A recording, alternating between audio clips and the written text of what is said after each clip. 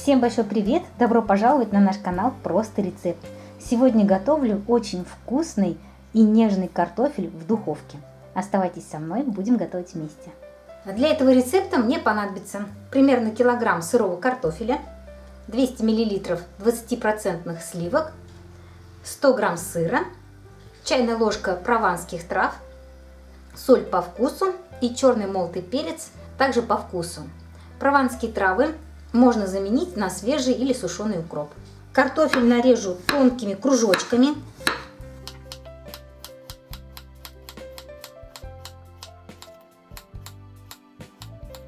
Картофелю добавлю черный молотый перец, прованские травы, соль по вкусу и залью это сливками.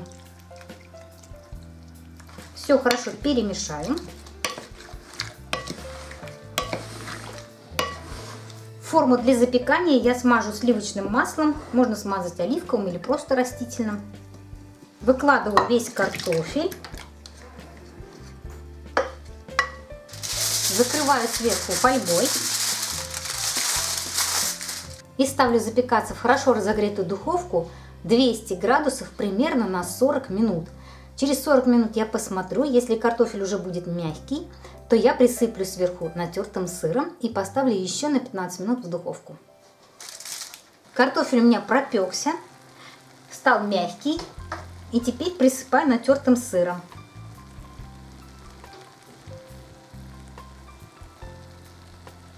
Снова ставлю в духовку до золотистого цвета. И вот такая румяная картошечка в сливках и под сырной корочкой у меня получилось. Она выходит очень мягкой, очень нежной, сочной, совершенно не сухая.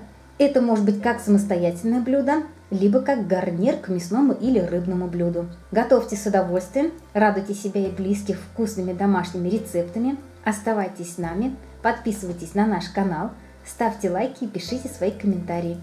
Текстовый формат рецептов вы, как всегда, найдете на Яндекс.Дзен. Ссылочку я оставлю в описании под видео. А я всех благодарю за просмотр, желаю вам прекрасного настроения, до скорых встреч и пока-пока!